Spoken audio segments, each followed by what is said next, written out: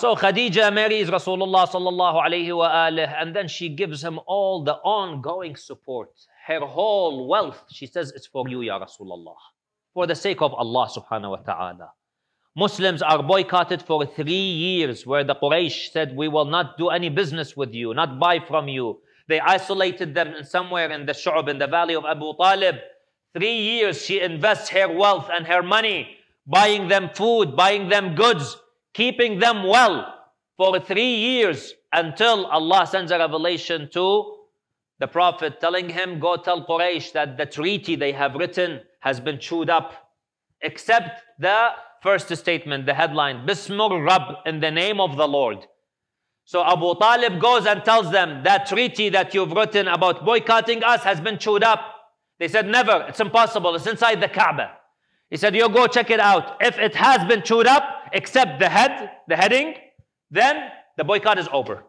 They said, Fine, we'll do it. They go inside the Kaaba, and indeed, the whole treaty has been chewed up except Bismur Rabb, in the name of the Lord. So the boycott is over.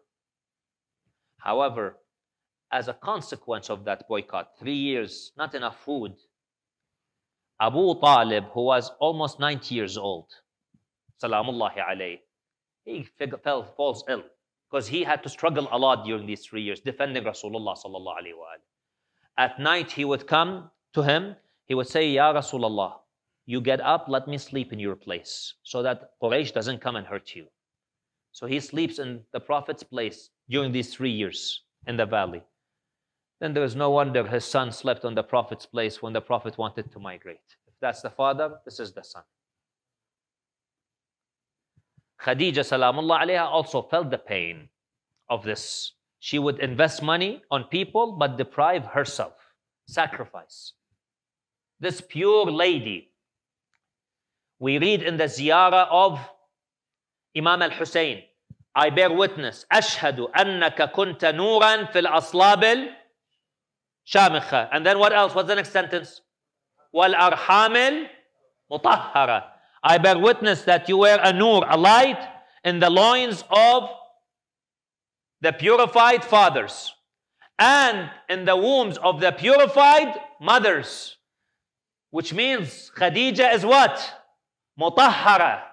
Fil arhamil mutah. She's the grandmother of all the imams except Amir al-Mu'mineen salamullahi. She's the grandmother of the 11. She is purified woman. She's a mutahhara, tahira. She's of such a high caliber and status that we have not realized. This great lady. But on the 10th day of the Hijjah, she leaves this dunya.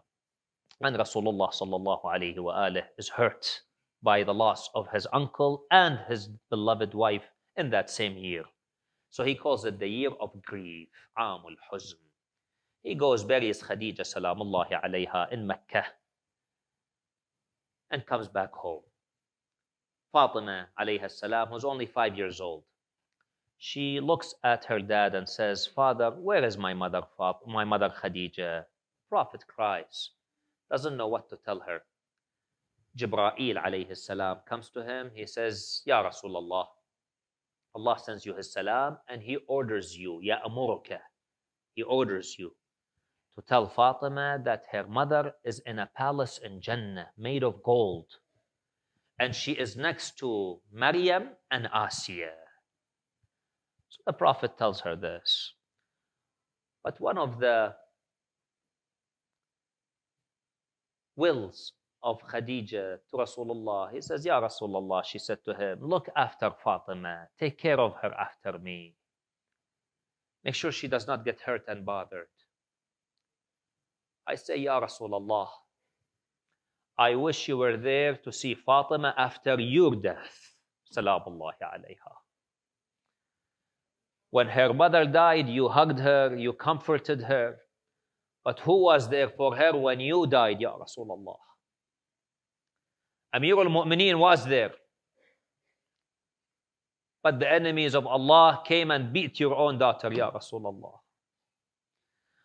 Your daughter had Amir al-Mu'mineen with her had Imam al-Hassan and Hussein with her.